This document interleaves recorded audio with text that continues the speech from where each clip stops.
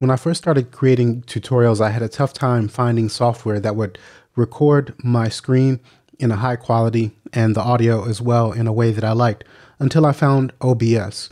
Now, OBS is open source and free, and you can download it from the link in the description of this video.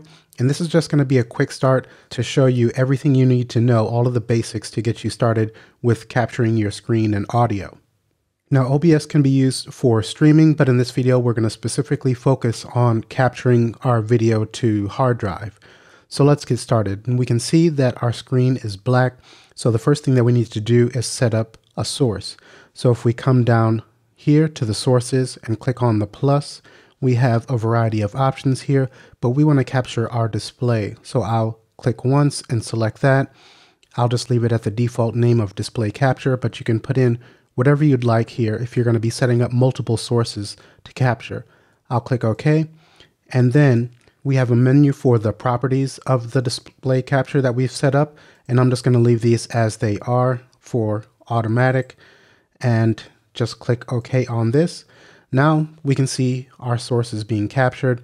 We have this frame around our video that we can use to determine what we're going to set as the size, but I'm just going to leave this at the full size and this snaps into position there. And my screen resolution is set to 1920 by 1080 and we can see that that's there. So just pay attention that you're capturing the resolution that you want.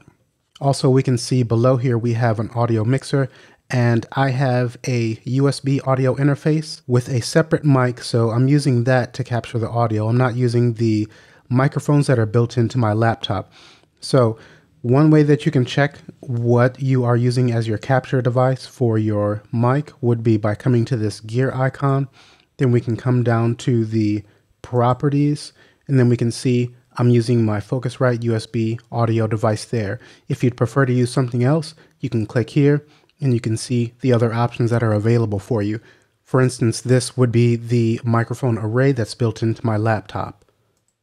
I'll click OK and also notice that down at the bottom we have advanced audio properties, so we can click on this and make some adjustments here. For instance, my microphone for the narration, the signal was pretty low, so I, in this field, increased this by 10 dB. So you can just click here and put in a new value if your mic is too quiet. And if you notice also that I have two separate sources, audio sources that I'm capturing, one for the desktop, any sounds that applications make, and then one for my narration. And if you're only seeing one source here, I'll show you how I added a second one. And I have these being recorded to two discrete tracks so that when I access the file that this outputs in my video editor, I'm going to have a separate track for my narration and one for the audio coming from my laptop or the applications. One other thing important to note here is that we have a setting for mono. So for the narration, I did select mono because I don't want that to be recorded in stereo. It's just cleaner for me to work with a mono file for my audio. But the audio coming from the desktop, I don't want that to be in mono. I'd like to keep that stereo signal. Now let's go ahead and close out of here. And before you begin recording for your audio levels, just make sure that you're going into the green or maybe touching the yellow a little bit. You don't want to go into the red because then you'll be clipping. So you can play back a video file or something on the internet and test your desktop audio here to make sure that those levels are set properly. And then you can use these sliders to make any adjustments if you need to take it down or boost it up a little bit. So now let's come to the bottom right hand corner and take a look at our settings menu here. And we're just going to touch on the most important things here. I'll do a more in-depth video uh, soon, but this is just to get you started. We won't worry about the general settings here. Uh, we won't worry about streaming, but the output, we'll take a look at that. This first tab is going to be for your streaming. We're specifically talking about recording to hard drive, so let's select that. Now, if what you're seeing here looks a little bit different than yours, just notice that there's an output mode and I have that switched to the advanced. So you can switch yours to advanced if you want to follow along with these settings. At the very top here, we have recording path, and this is going to allow you to choose the location where that final video file is going to be stored at so you can access that. So all of this video is going to be stored in this desktop items folder on my desktop there when I stop the recording, and that's where I'll be able to find it. Now, this next one we have is recording format. I have MP4. You have a different selection that you can make, a variety to choose from there. And I don't want to make this a video about what settings are the best that you should use for your situation.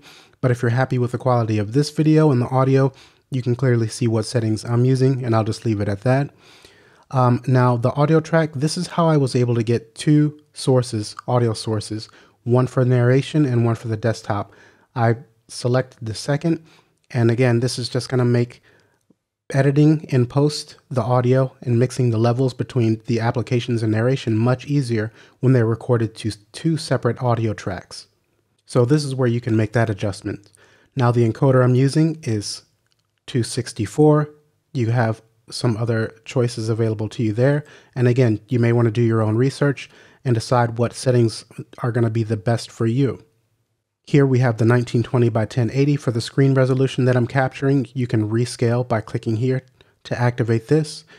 Um, and then at the bottom for rate control, I'm using CRF. And with a setting of 23, my CPU usage is set to very fast.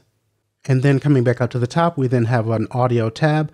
Now for the two tracks that I'm capturing, I wanted to have the best quality audio. So the bit rate I've set to 320.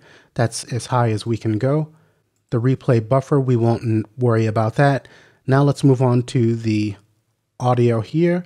I've got that set for sample rate of 48 Hertz, stereo channels, we then have an area for choosing our sources, the uh, desktop audio. So clicking there, we can choose between different things, the audio output and then the microphone. We can make adjustments here between sources, but these are redundant. And if I just cancel out of here, these gear icons would probably be a better area to set and check these before you begin your recording. So for our desktop audio, if I click on that gear and choose properties, I always pretty much check this to be sure that it's set properly before I go into my recording. For the microphone, I want that to be on the Focusrite. So coming to properties, again, that's set as I want because you never want to go on recording for 30 minutes or an hour and then in the end find that you're not capturing in the proper source. So now that you've got everything set up, all you have to do is click on start recording and then you're going to be all set to record whatever you'd like. When you're finished, this is going to say stop recording and just click on stop recording to stop. And so we will wrap up here. Again, I just wanted to put something together really quick to help get you started as quick as possible. Uh, I'll be doing something more in-depth in the future. If you have any questions, feel free to leave a comment down below, and I'll see you in the next tutorial. Thanks for watching.